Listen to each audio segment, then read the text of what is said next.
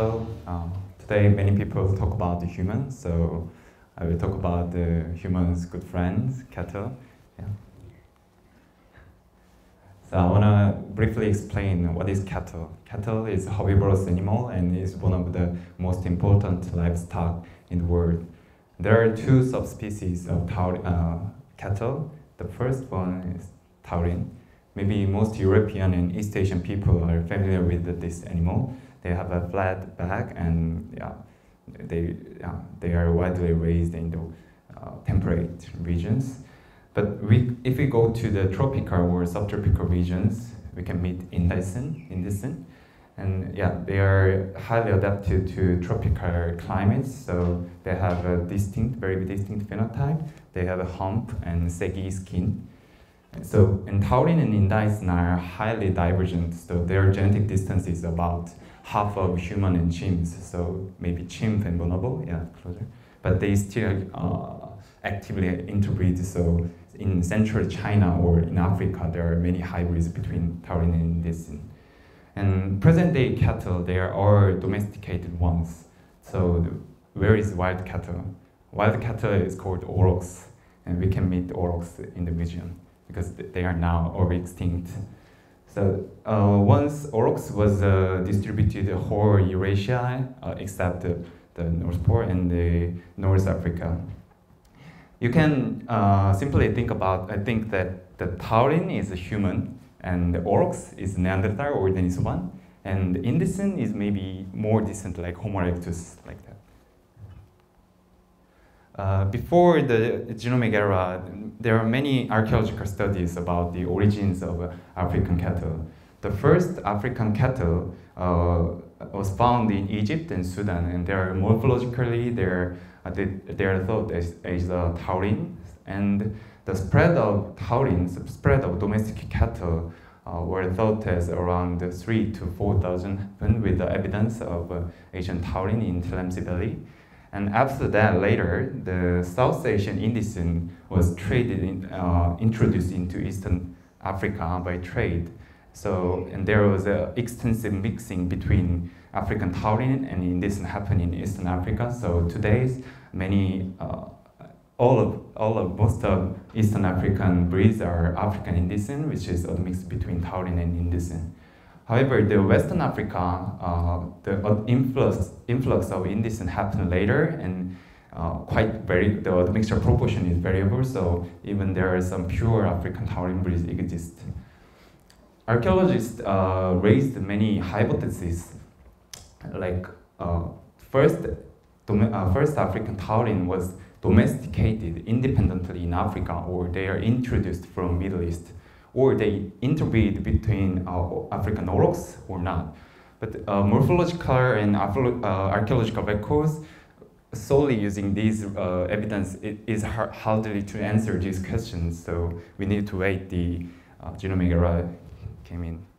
I, I just want to show you the uh, record in Africa. The famous one is uh, African aurochs painting in Egypt. So you can see the, a hunting scene and is around 3,000 years ago. So you, you, can see the African taurine and African aurochs coexist at least until 3,000 years ago.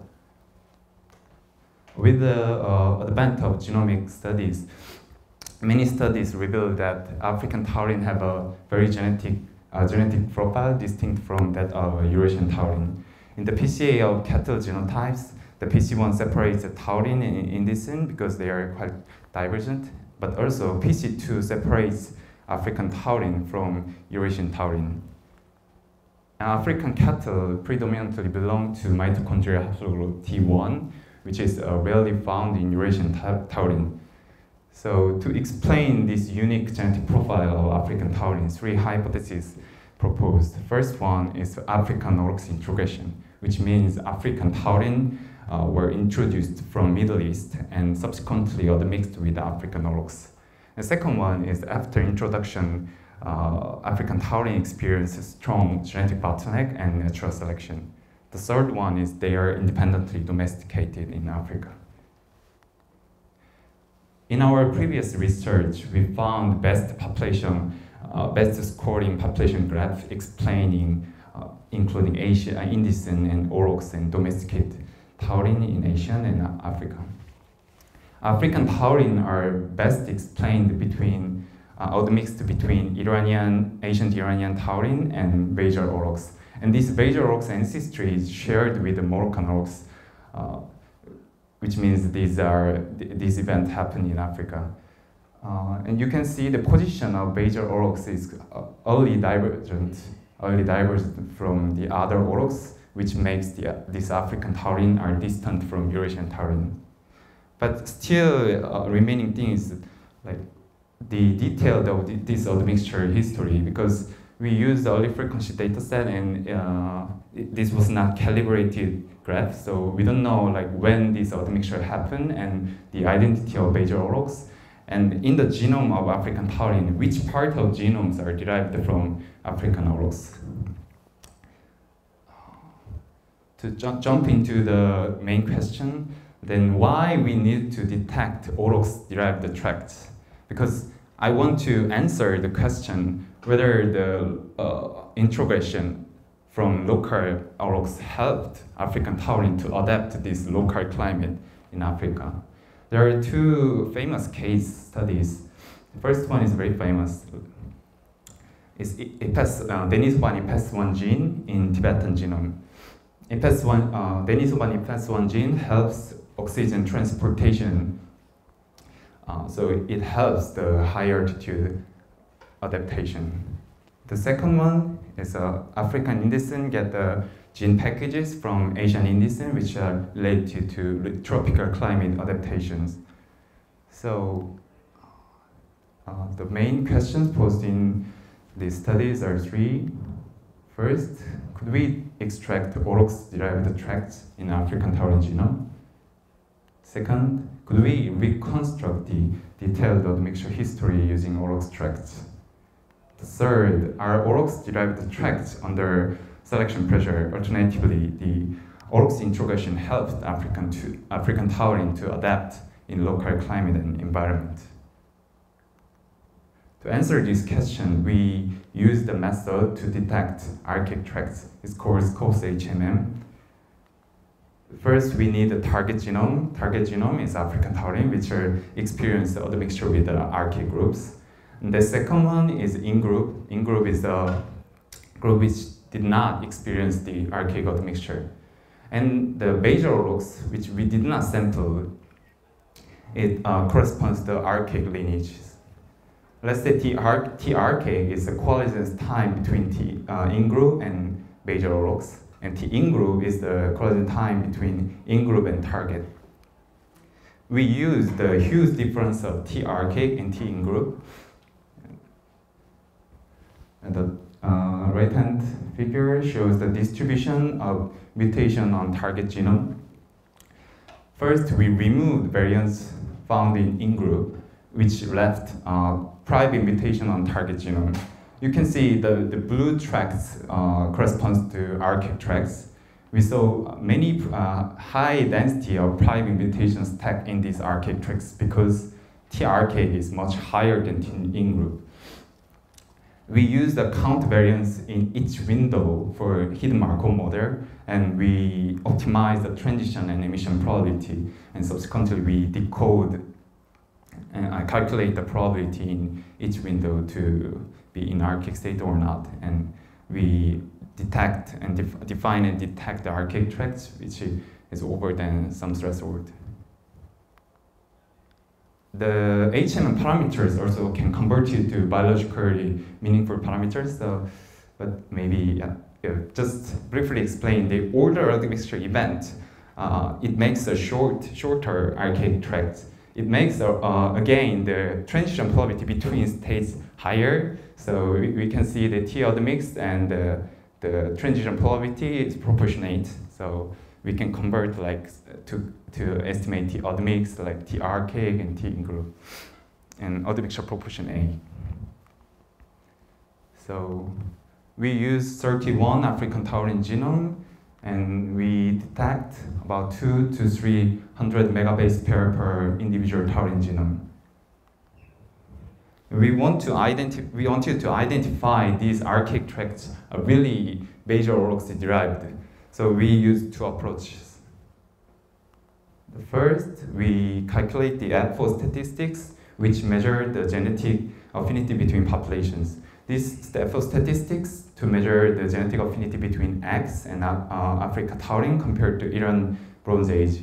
Because basal aurochs is a basal in a phylogenetic position compared to other Eurasian aurochs, so we expect uh, in archaic tracts, uh, archaic tracts have, uh, are distantly related to other Eurasian aurochs. So we, we expect the more negative signal in archaic states. So we calculate the archaic and non-archaic in whole genome. So the most left one is the Moroccan aurochs. So except Moroccan aurochs, in every other aurochs and even in indicine, the signal goes more negative. But while uh, Moroccan aurochs, uh, for Moroccan aurochs, this signal uh, did, not, did not deviate from zero significantly. And we also uh, estimate the uh, admixture pro proportion what we used in our previous study. So in whole genome, the basal rocks or the mixture proportion was about 18%, but it increased about 40 to 50%, which confirmed this uh, basal aurochs uh, origin of these archaic tracts. So using HMM parameters, we converted into biological meaningful parameters. So and we reconstruct reconstruct the, the admixture history. First, divergence time between taurine and basal aurochs was estimated around 54 to 93,000 years ago. And the divergence time between Eurasian taurine and African taurine was estimated around 4 to 9,000 years ago. And the admixture time was 3 to 4,000 years ago. And the proportion was, uh, 12 to 18 percent. I compare these estimates with the previous study in archaeological and paleoclimate studies. First, uh, some uh, paleoclimate studies report uh, about 67 to 78,000 years ago, the Sahara was wetter than today, so maybe there was a corridor open between Asia and Africa. And also this uh, period corresponds to out of Africa event in human. So we suggest uh, in this period, African aurochs start to be isolated from Middle Eastern aurochs. And, and also domestication of taurine event predates our T in-group estimate, which confirms again this African taurine came from Middle East, not, domest- uh, not independently domesticated in Africa.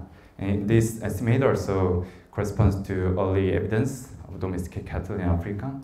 And interestingly, the spread of domestication timing also matches well with our uh, mixture event and the genome level uh, mixture proportion is uh, well matched with our HMM parameters.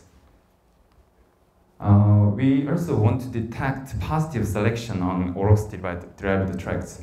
Positive selection makes archaic tracks longer, aurochs tracks longer, and the frequency of aurochs tracks higher than genome-wide level.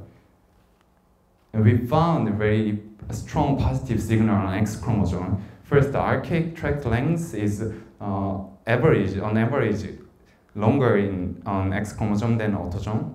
And we also found very long, super long archaic tracts in, on X chromosome compared to autosome. And all of these 18 super long tracts are from single regions uh, about 37 million base pair to 40 million base pair. And we found uh, also the aurochs, aurochs frequency is above top 1%. And we found several genes located in this region. Uh, we are now continuing to investigate the relationship uh, between function of these genes and the adapta local adaptation. But the interesting thing is we found G6PD and G6PD deficiency is uh, it leads anemia in humans, so it's very unfav unfavorable. But the frequency of G6PD deficiency is higher, much higher in Africa, because it helps, it protects human from malaria. So we maybe suggest it serves a similar role for African taurine to protect African taurine from local parasites or pathogen.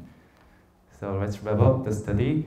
The we found uh, substantial amounts of oxygen tracts in African taurine genome, The second, our reconstructed admixture history well matches uh, strongly support the African aurochs introgression hypothesis. And we found strong positive selection signal on X chromosome likely related to local pathogen resistance. And our significance is we established a methodology to detect the aurochs-derived tracts in domesticated cattle, and this approach helps to discover key genes related to domestication and local adaptation. Thank you for our PI and the collaborator, and thank you for listening. Thank you. Thank you.